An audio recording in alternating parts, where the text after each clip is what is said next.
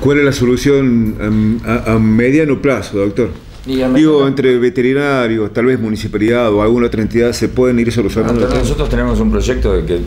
Estaba hablando un poco de eso. Claro, que la concientización de tenencia responsable del animalito eh, es fundamental. Castraciones para la gente que no tiene los recursos para hacerlo. Eh, y la, la, digamos concientizar a los colegios a, donde nos llamen y hablar de, este, de esta problemática. Eh, y también eh, el hecho de que nosotros, ahora le podés preguntar al doctor Chacas el proyecto, si vos querés hablar del proyecto, que en ningún momento eh, descartamos a las ONG, a, este grupo de almitas.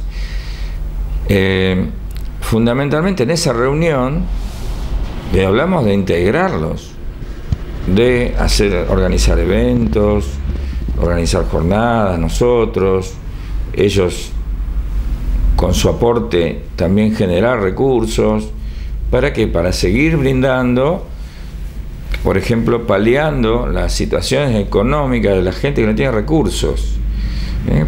para poder comprar insumos, ¿eh? porque nosotros eh, ahora el doctor va a hablar del proyecto, pero nosotros no estamos en condiciones de, porque nosotros no, tenemos socios, no tenemos ningún ingreso, sino de nuestros honorarios. Y vamos a hacer un esfuerzo. Así que. La, nosotros que, quiero dejar en claro que hemos presentado un proyecto a la municipalidad que contempla algunos puntos que el colega está hablando, como, como hablamos recién, lo, más importante, la concientización. Eso implica la llegada a escuelas, escuelas primarias, la llegada a centros vecinales, clubes, etcétera, donde los veterinarios van a dar charlas gratuitas, digamos, a la gente y a los chicos sobre lo, que significa el concepto de tenencia responsable, cuidados mínimos, básicos elementales de un perro, conductas de un perro y un gato, cómo manejarnos frente a esas, esas circunstancias. Eh, la vacunación antirrábica y la importancia que eso tiene, eh, toda esta temática. Además de eso, eh, incluso con la posible incorporación, ya hemos estado hablando, con este, artistas de la localidad, a los fines de reforzar esta, esta, esta transmisión de conocimiento a través de distintas actividades culturales, como puede ser, y artísticas, como puede ser el teatro o como puede ser el títeres, para que reforzar ese tipo de, digamos, de, esta temática. ¿no? Ese proyecto tiene que ser aprobado por el Ejecutivo, usted lo presentaron sí, lo presentamos al, Ejecutivo, además de esto, el segundo elemento que a nosotros nos parece importante es la elaboración de un censo poblacional para saber qué población animal tenemos. Nosotros incorporamos una encuesta, además, un trabajo que se, realizó en una escuela que se llama Zenón, no me acuerdo el otro nombre, desde Pilar, de provincia de Córdoba, donde se hizo una encuesta a través de los chicos de la escuela primaria que iban a ser alrededor de la manzana donde vivían, junto con los padres, donde se consultaba si tenían perros o no, cuántos, si tenían perros o gatos, si tenían macho o hembra, estaban castrados o no, si estaban vacunados o no. Eh, se juntaban elementos importantes a la hora de saber eh, conocer un poco a la población canina y felina y la, realidad, más si alguna vez habían abandonado un perro, increíblemente el 15% de la población había reconocido que sí. Y cuando se le preguntó por qué motivo, el 55% dijo porque estaba enfermo. Fíjate vos cómo podemos llegar a que una persona abandone a su perro porque está enfermo, en lugar de ayudarlo y apoyarlo en el momento que más le necesita. Es decir, eso, eso por un lado. El tema de las castraciones, que como dijimos, nosotros nuestra propuesta es trabajar, era en ese momento cuando le presentamos la municipalidad, trabajar en conjunto con las entidades proteccionistas, en ningún momento quisimos dejarla de lado, ni mucho menos, creemos que son importantes, que la planificación sea hecha por veterinarios, pero sí es lógico, porque es una cuestión técnica. Yo si hay un problema de, motores, a mí me encanta el automovilismo y veo carreras y todo, pero eh, quien sabe es un mecánico. Llamaría un mecánico. En este caso nos toca. profesor, un veterinario. Claro. Además de eso, nosotros presentamos una, eh, la posibilidad de realizar una atención primaria para perros eh, enfermos en la vía pública. Es una cuestión que muchas veces no se contempla, es decir, muchos perros que están sueltos en la vía pública, que están enfermos además, y no hay una, alguien que los pueda atender, un sistema de guardia rotativa.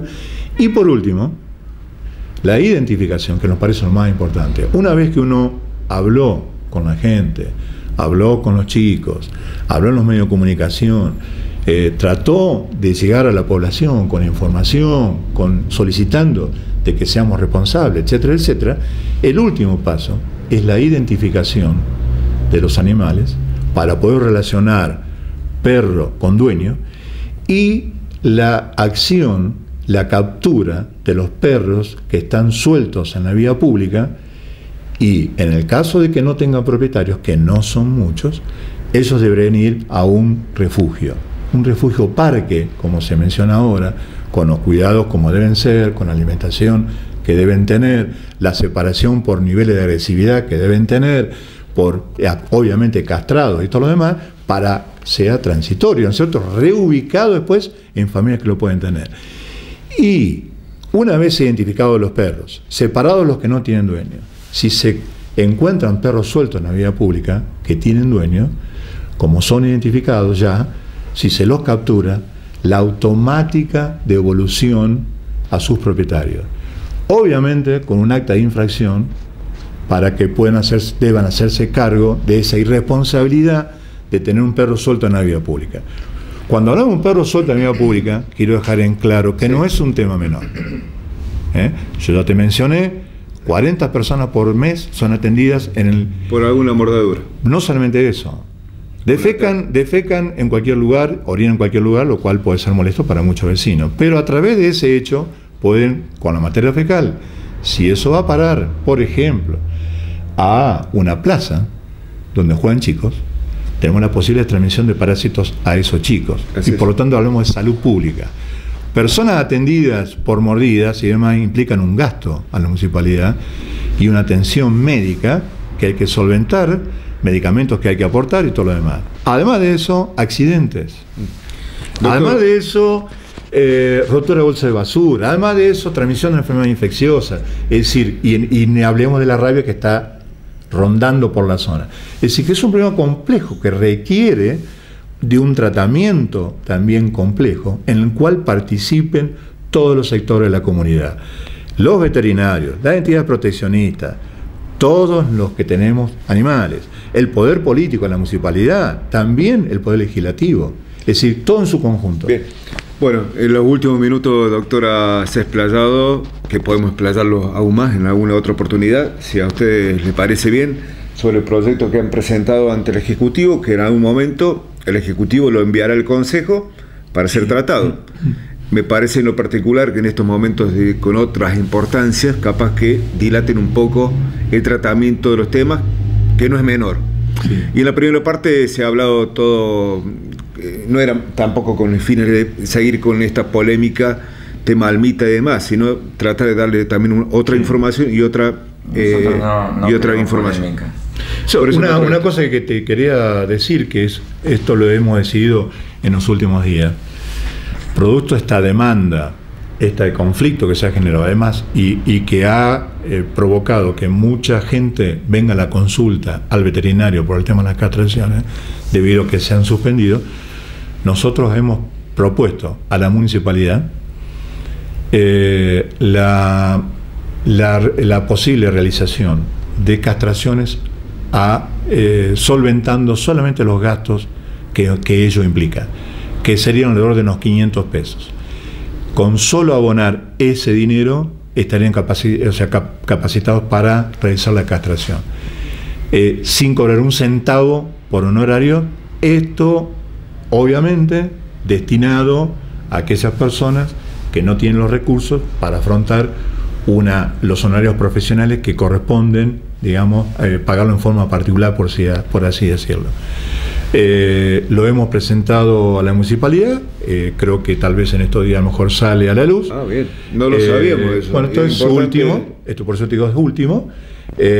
si la idea es que la gente vaya a acción social en la municipalidad, pida, solicite esa orden, y si corresponde, el beneficiario, al beneficiario se le dé una orden de castración donde figuren los datos de ese propietario.